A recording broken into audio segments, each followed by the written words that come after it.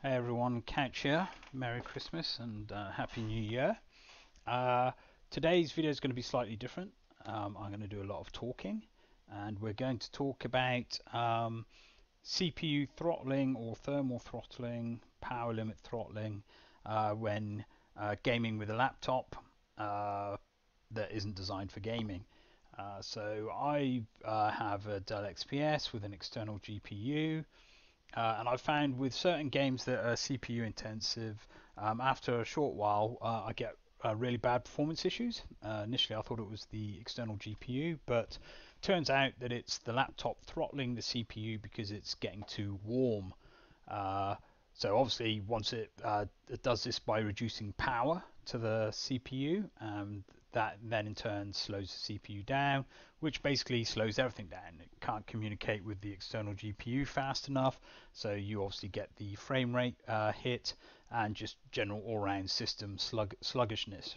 Uh, so I'm going to do a quick video to demonstrate throttling, and then I'll do a video uh, to show um, uh, what you can do uh, to try limit it. Um, I don't know if there's a perfect solution out there. Don't game with a laptop. Um, but uh, let me get on with it, and once it starts throttling, um, I'll start talking again.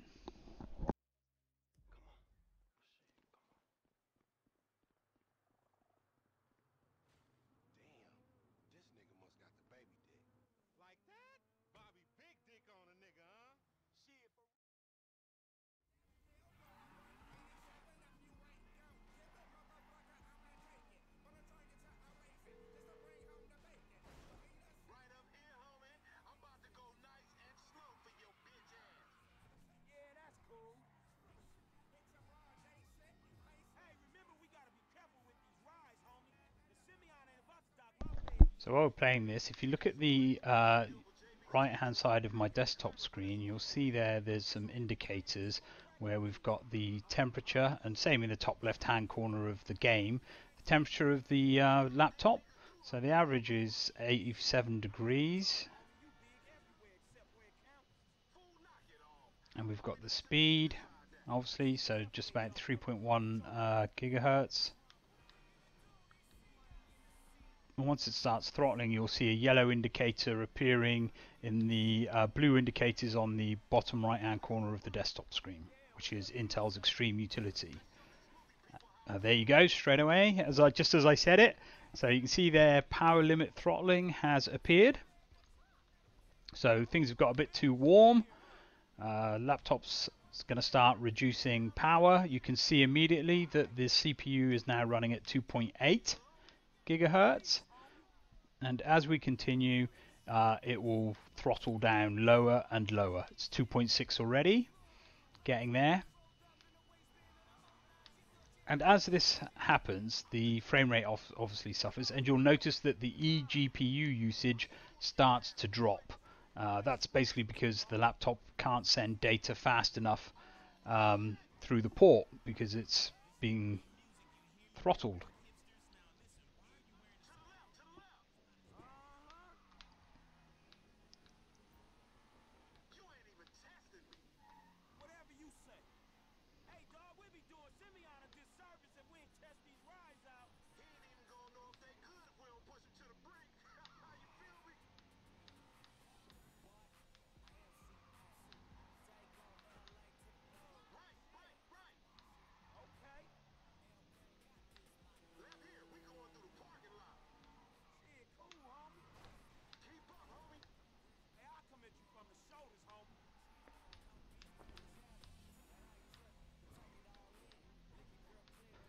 So we can see now we're down to 2.5 gigahertz, which is basically what the stock speed of the laptop is without turbo boost.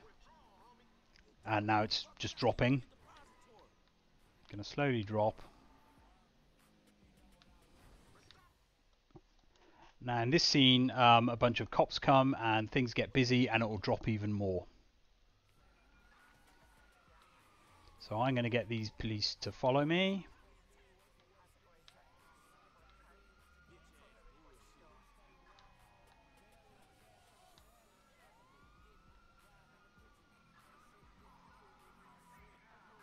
Another one.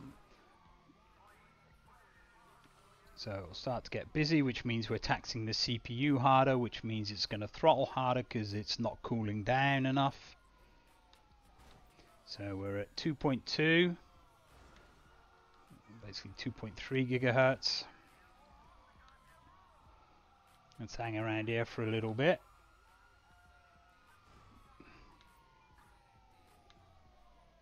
See if we can get another police car to join in here. Yeah, that's great. So you can see here that the eGPU is now under 90% utilized, which means our frame rates are going to start taking a hit. We're now getting around 60 frames per second and under. You can see now we're running at 2.1 gigahertz basically.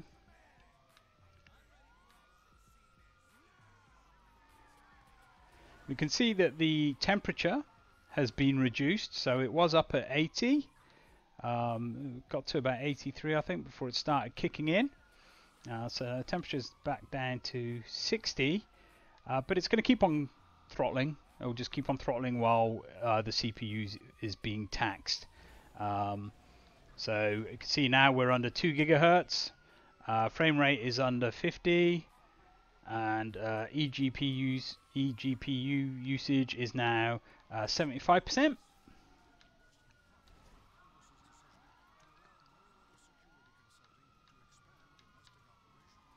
and this obviously isn't good news for us, is it?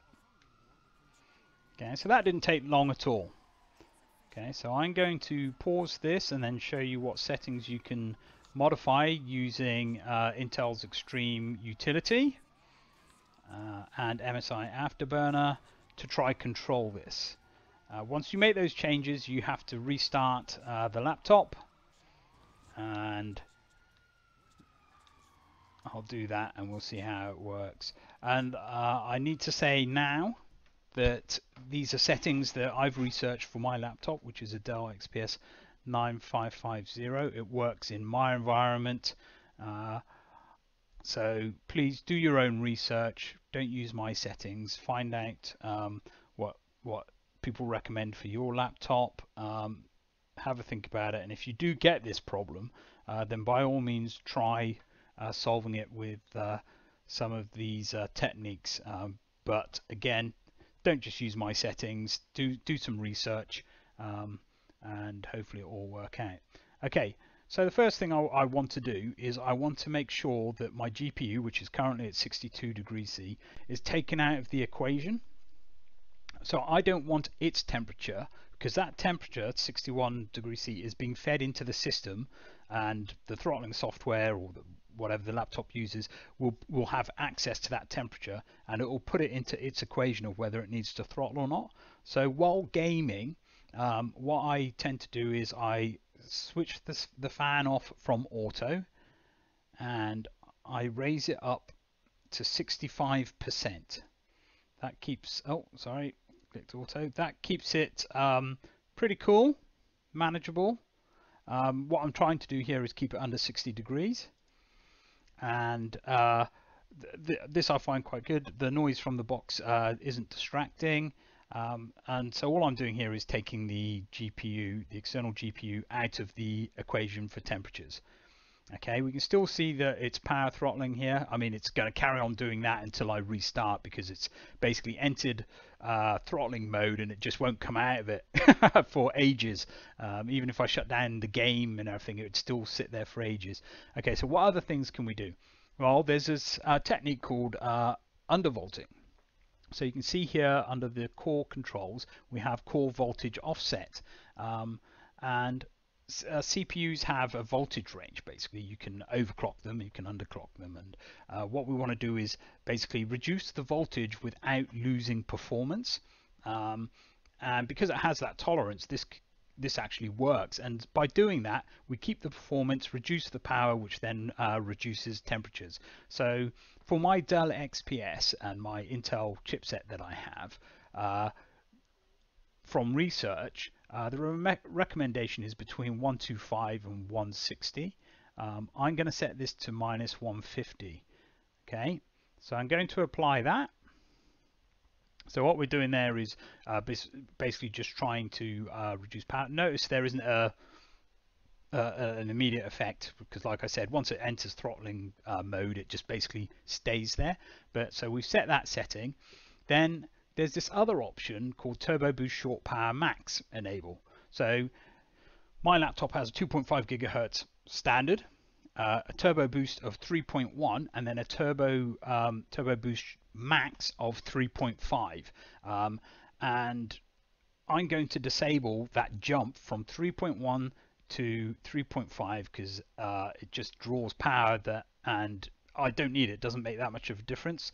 Um, so I'm going to disable that feature. You can see here the uh, wattage it uses. So uh, when that gets enabled it can draw up to 60 uh, 56 watts. Um, so I'm going to disable that and you will see there immediately that the power max level for it gets disabled I'm going to apply that and now what we can do is because we've disabled that feature, um, what we can do with the turbo, uh, the normal turbo uh, boost power max is we can increase this. I'm going to increase this to 56, which is what the short power max was.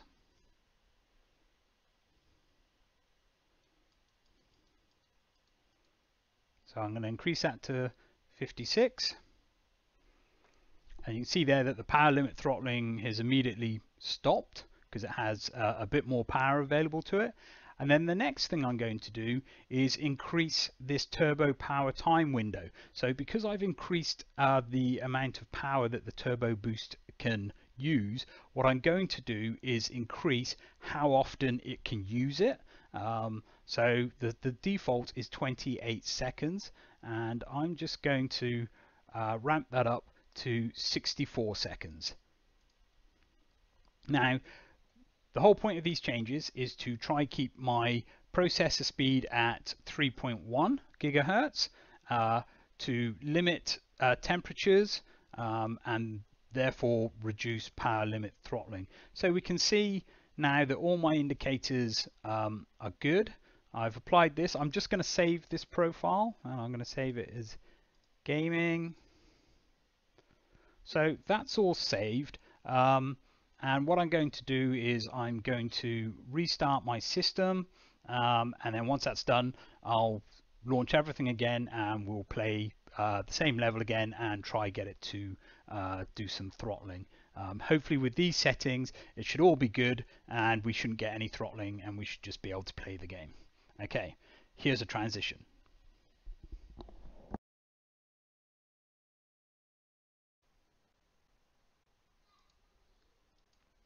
Hey everyone. Okay, so I've uh, restarted everything. I've restarted the laptop. I've loaded everything back up again. Um, you can see here after I've uh, reloaded the Intel Extreme tuning utility, we can see that the changes I made are still in effect. Um, so that's all good. I've fired up uh, MSI Afterburner and I've set the fan speed uh, to 65%. Um, I've got GTA running and we're going to play basically the same level again and see if um, we've improved the uh, power limit throttling. So let's get on with it.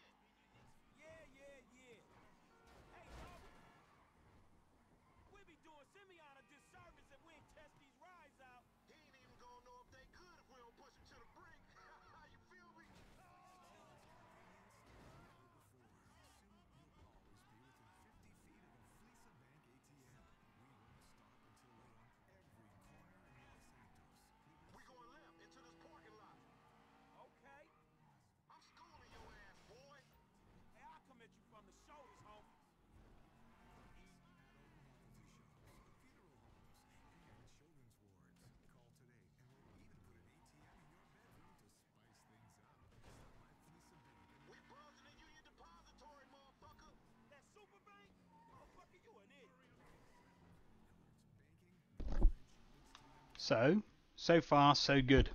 Uh, by this stage uh, before it was beginning to throttle. So this is good. Let's see uh, how it works once we've got a bunch of uh, NPCs, the police chasing us. I'll try and make it all busy again and see how long it takes to start doing uh, power throttling.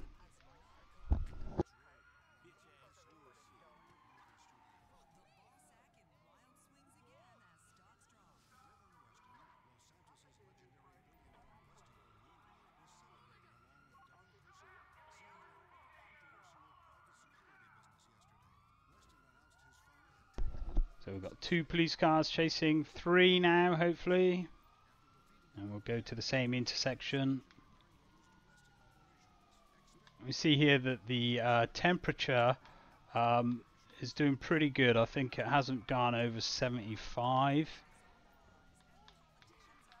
And even after disabling the max turbo um, and setting the uh, different time limit uh, for turbo, uh, the CPU is still running at 3.1 gigahertz and it's using all four cores.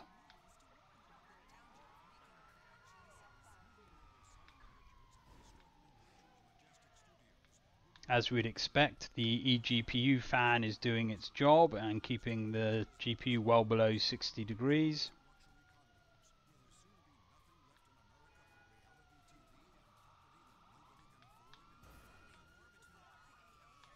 Let's go up to the square here, where there'll be some more people.